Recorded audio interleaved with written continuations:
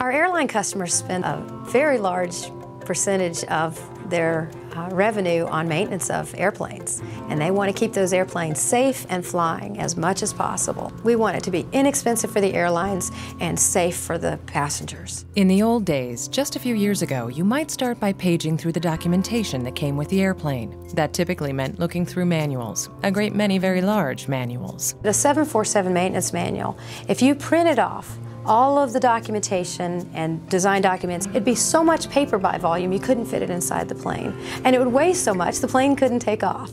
That's why Boeing has converted airplane data to much more accessible, cross-referencing electronic documents for every jetliner in production. We have managed to take that and create a digital system that can fit on a few DVDs or can be wirelessly shipped to a customer. So now maintenance crews can search through thousands of graphic images and they can refer to the data from practically anywhere, including airfields and repair facilities.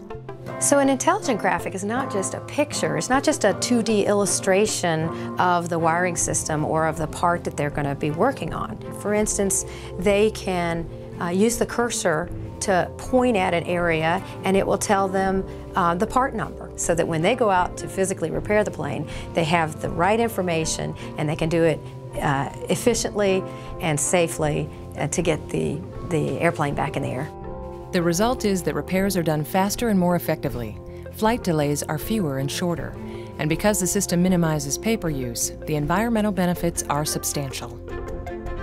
What our customers need is information that's up to date. If we were sending them paper manuals, they would be out of date before they got the new release. So it's, it's a revolutionary change for them to have um, active databases. It makes it safer, it makes it cheaper for them to maintain our products.